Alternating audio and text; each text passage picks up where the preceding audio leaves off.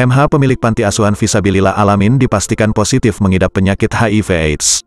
Hal ini diungkapkan Kapolrestabes Palembang, Kombes Pol Muhammad Ngajib didampingi Kasat Reskrim AKBP Haris Dinzah kepada Sripoku.com, Senin, tanggal 27 Februari tahun 2023. Menurut dia, tersangka dipastikan positif HIV/AIDS setelah dilakukan pemeriksaan di RS Bayangkara M. Hasan Palembang. Namun dari 18 anak yang diperiksa masih ada satu anak yang masih menunggu hasilnya. Ya, Pemilik panti asuhan Visabilillah Al-Amin yang berada di Jalan Mangkubumi Lorong Bunga, Kelurahan Tiga Ilir, Kecamatan Ilir Timur 2, Palembang, Provinsi Sumatera Selatan, langsung dijemput polisi. Sabtu, tanggal 25 Februari tahun 2023, malam. Pemilik panti asuhan diamankan polisi lantaran diduga melakukan penganiayaan terhadap sejumlah penghuni panti asuhan.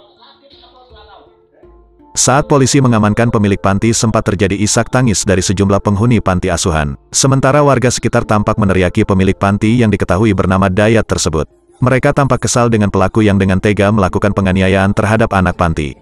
Salah seorang warga sekitar mengungkapkan bahwa dirinya sering mendengar suara Dayat yang marah-marah terhadap anak-anak panti.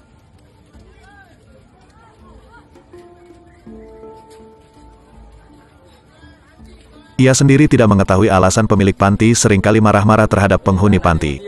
Kini pemilik panti yang diduga melakukan penganiayaan telah berada di Polrestabes Palembang. Diberitakan sebelumnya, video aksi kekerasan dilakukan oknum pengurus panti asuhan di Palembang, Sumatera Selatan viral di media sosial.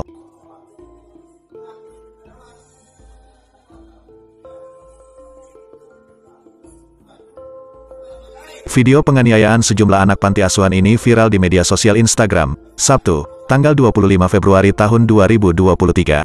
Dalam video tersebut tampak seorang pria yang diperkirakan berusia 45 tahun melakukan pemukulan terhadap beberapa anak panti. Rekaman video yang beredar aksi kekerasan tersebut, diduga terjadi di sebuah panti asuhan di kawasan Kecamatan Ilir Timur 2 Palembang.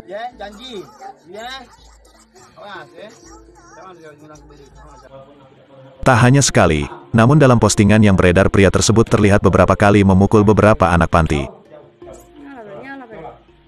Everybody. Come on, come on. Something class.